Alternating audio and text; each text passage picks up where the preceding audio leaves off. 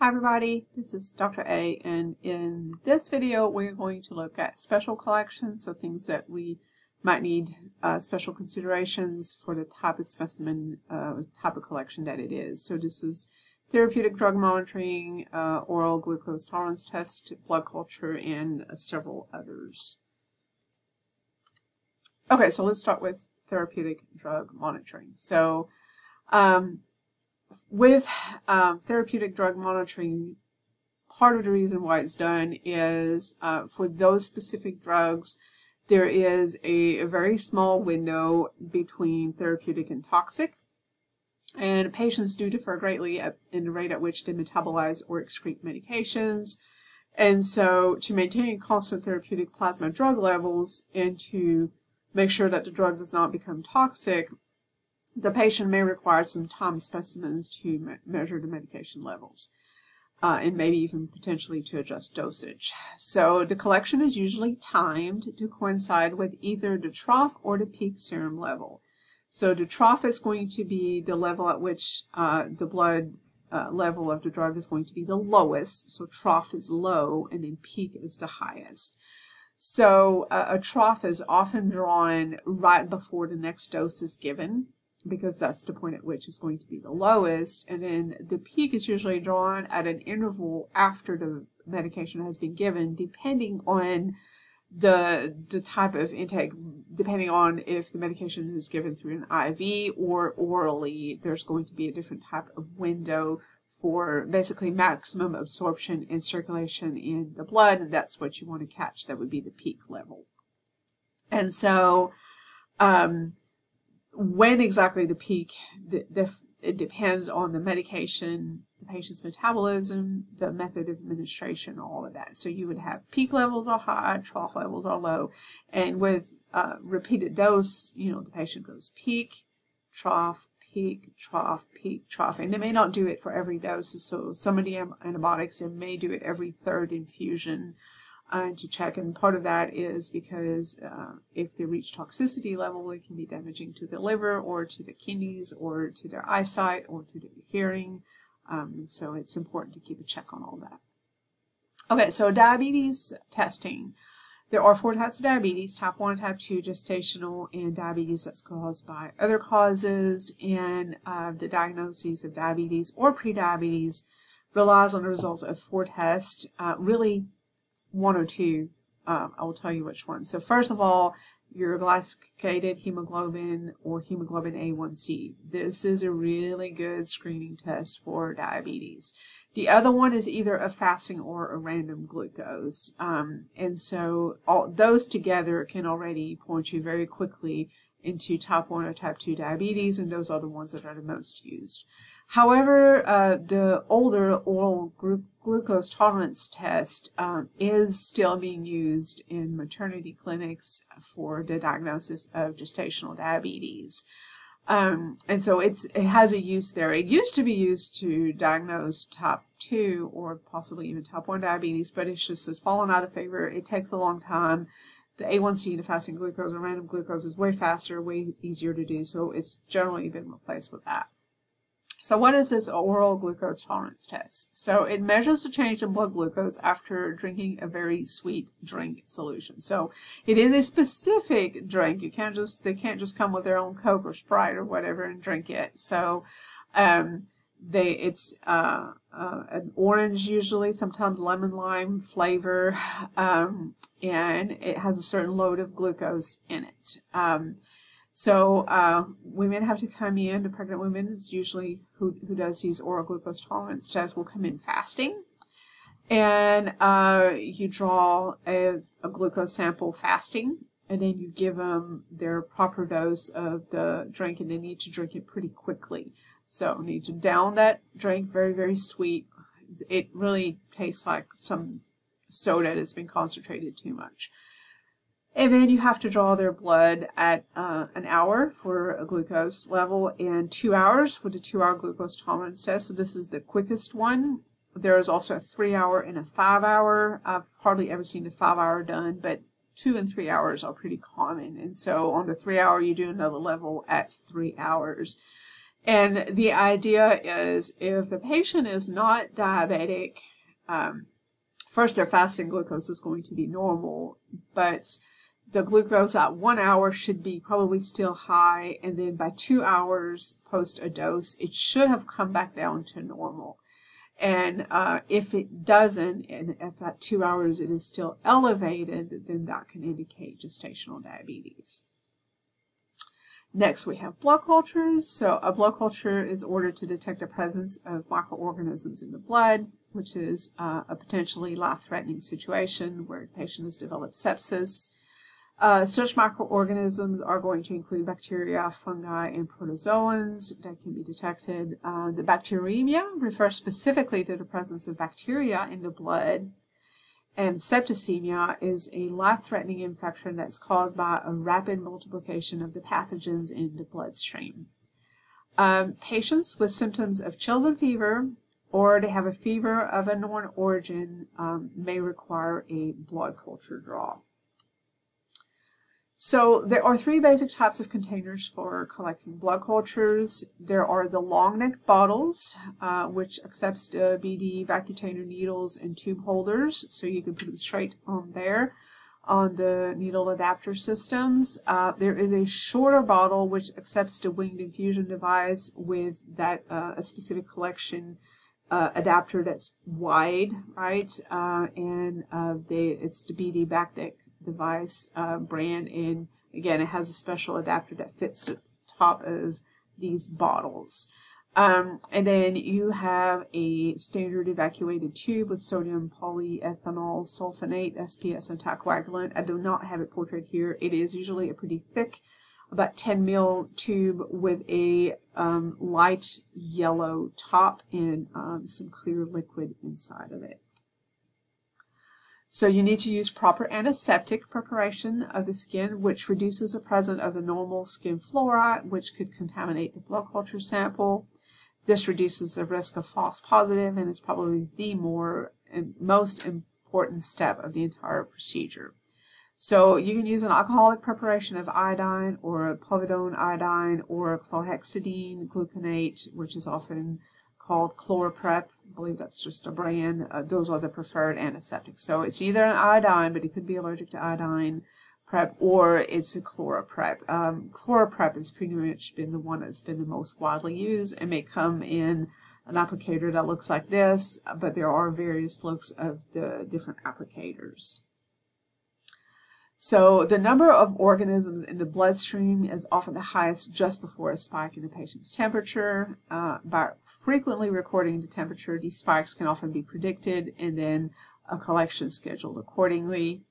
So the contamination of the sample by skin bacteria is a frequent complication of the blood culture collection because then the, the physician needs to decide whether this is a contaminant or truly an infection because skin bacteria, if introduced into the bloodstream, could cause uh, blood infection.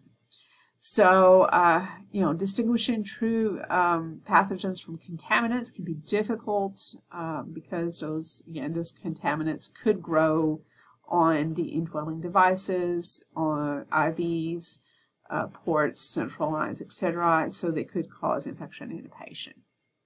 So to reduce errors that are caused by discontamination, um, a known skin contaminant must be cultured from at least two different sites to be considered a blood pathogen. So this is why we do two different blood culture sets from two different sites, is to be able to distinguish whether if a bacteria is identified as normally a skin contaminant, is it truly causing an infection or was it simply uh, improperly collected or improperly uh, cleansed at the site of collection.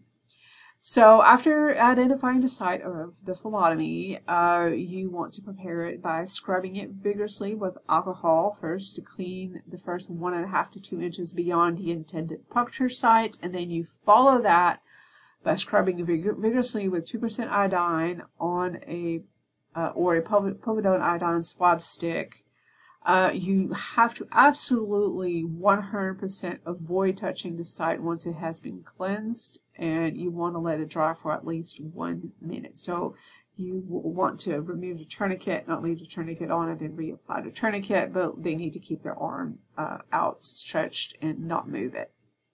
Then uh, as that is drying, you want to make sure you have all your collection equipment, all your bottles, etc. You want to clean the tops of the collection bottles with either iodine or alcohol, and then place a clean alcohol pad on top of each bottle until it is inoculated. By the way, those bottles each have a top that has to be removed from it, uh, kind of like a medicine top of a bottle. So it needs to be removed, uh, and then sh you should see um, a rubber top uh, gasket thing, a rubber that can be punctured by a needle. That's what needs to be uh, cleansed with alcohol.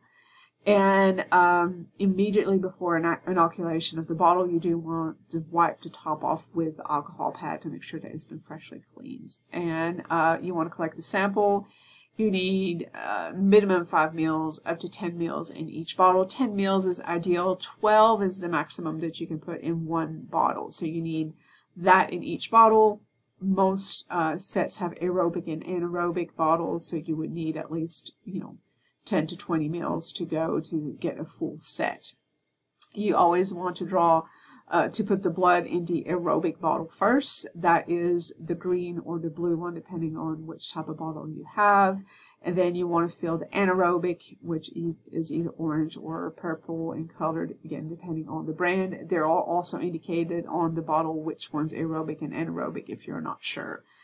Uh, once you have your bottles that are properly filled and you remove the needle uh, and held pressure, you attend to the patient to make sure that bleeding is stopped and that uh, you know everything's good. So uh, next we're going to mention therapeutic phlebotomy. Uh, although it's not likely that you will do it, it is possible. So it's a removal of blood from a patient's system as part of the treatment for a disorder. Um, so some of the disorders that can be treated by therapeutic phlebotomy are going to be polycythemia, having too many red cells basically, uh, hemochromatosis, so having too much iron. So uh, polycythemia, hemochromatosis are more likely in males. Um, and in both cases, a periodic removal of a unit of blood can be part of the treatment program. Then it, you know, helps alleviate the excess amount of iron or uh, red cells in the blood. This can actually be accomplished by simply donating blood on a regular basis, especially if the patient is an eligible donor. Next, we have cold agglutinins. So these are antibodies that are formed in response to an infection with Mycoplasma pneumoniae. Uh, it is a cause of atypical pneumonia, also often called walking pneumonia. And uh, the antibodies that are created by the immune system during the infection can also react with red cells at temperatures below body temperature and it causes the red cells to stick together, and this is what they are called cold agglutinins. So with when the blood gets cold, it agglutinates or sticks together. Uh, and agglutination is a process of cells sticking together. Because the agglutinins attach to the red cells at cold temperatures, the specimen must be kept warm until the serum is separated from the cells to avoid falsely lowering the agglutinin levels if that's what you're trying to detect or it needs to be kept warm and run warm if you're trying to get a CBC, a blood count, because the problem is with the cells sticking together is they're not going to be counted appropriately and you're going to get some really, really weird results on your CBC.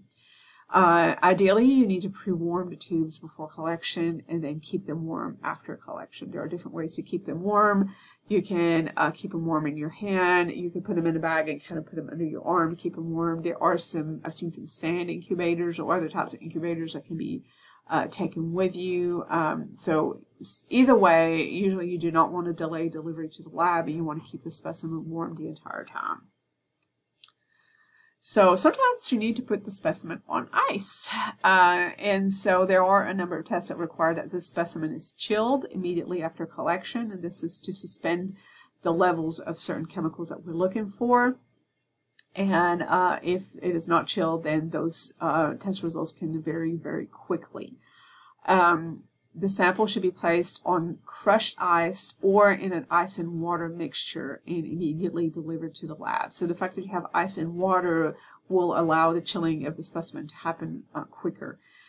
And uh, testing needs to happen usually within 30 minutes. Uh, you really do not want to delay testing. So um, specimens that typically need to be chilled and put on ice, especially if you cannot test them like right away. Like an ABG, you might be able to test it if you have a point of care device or a device that's like within a minute or two of the patient. You could potentially just pull the specimen and go straight to run it. But if there's going to be a delay, like if it takes you 10, 5, 10 minutes to get to the lab, then you want to put it on ice. And so ABGs need to put on ice, ammonia levels, and lactic acid levels. All of those need to be put on ice until they can be tested, and they need to be tested as soon as they uh, arrive in the lab. There are also light-sensitive specimens, so exposure to light can break down or alter certain blood constituents. Um, specimens to be tested for these constituents have to be protected from light after collection. You can do this by wrapping the tube in aluminum foil immediately after collection, especially if the collection tube is not a light uh, opaque tube. Um, you can use an amber colored microtube. Uh, this can be used for dermal collections. For example, the bilirubin samples for the neonatal bilirubin, this is what it looks like, and this is light blocking. Uh, and the ones that you need to be the most concerned with uh, being light sensitive are going to be your bilirubin samples, porphyrin testing, and um, most of your vitamins are very light sensitive. And then we're going to talk about legal and forensic specimens. So um, blood specimens may be collected to use as evidence in legal proceedings. This could include alcohol and drug testing, especially if there was a wreck or something that happened, DNA analysis, or paternity or parentage testing. The most important concept in handling forensic specimens is the chain of custody. So that's a protocol that ensures that the sample is always in the custody of a person that is legally entrusted to be in, in control of that specimen. So the chain begins with the patient identification and you know properly identifying the patient. It usually requires a form of ID like a driver's license, and then it continues through every step of the collection and testing process. Everybody that handles a specimen plus the donor of the specimen, so the patient, have has to sign the chain of custody form. And so the chain of custody documentation can include special containers that have seals, that have temperature gauges on them, uh, special forms uh, that have signature lines and stuff, and you have to have the date, time, and identification of each handler of the specimen so that you know, the if it's a blood draw, the phlebotomist may have to sign it, but then the courier that picks up the specimen, maybe if it goes to a different location, would have to sign and date it. And then the person receiving that specimen, maybe at the reference lab, has to sign it. They're processing it in. The person that is going to test the specimen has to sign it. So if anybody puts their hands on the specimen or does anything with the specimen, their name needs to be on that chain of custody form. So the purpose and procedure of the test must be explained to the patient. The patient has to sign a consent form. They have to present a picture identification. Uh, the specimen have to be labeled appropriately to establish a chain of custody. They're usually labeled in front of the patient, and the patient often has to uh, initial the seal or um, you know somewhere on the specimen to uh, show that they indeed agree with that. Uh, so uh, the reason you seal it is to show uh, any tampering so that the first person to unseal that specimen should be the one testing it. And if the seal was broken, then somebody may have tampered with the specimen along the way.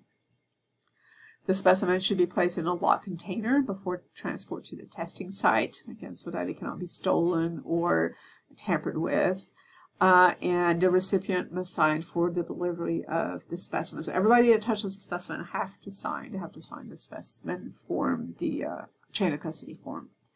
So the last one we're going to talk about is going to be the legal alcohol collection. So this often occurs um, in the emergency department, and there's usually been a wreck of some sort, especially if um, they're driving um, some you know public transport or something that's under the DOT. But either way, uh, they can request a legal blood alcohol test. Um, so this collection requires special handling to prevent the alteration of the test results. The site cannot be cleaned with alcohol because that could falsely elevate the results. So instead of alcohol, you can use soap, water, sterile gauze, or another non-alcoholic antiseptic solution to clean the site.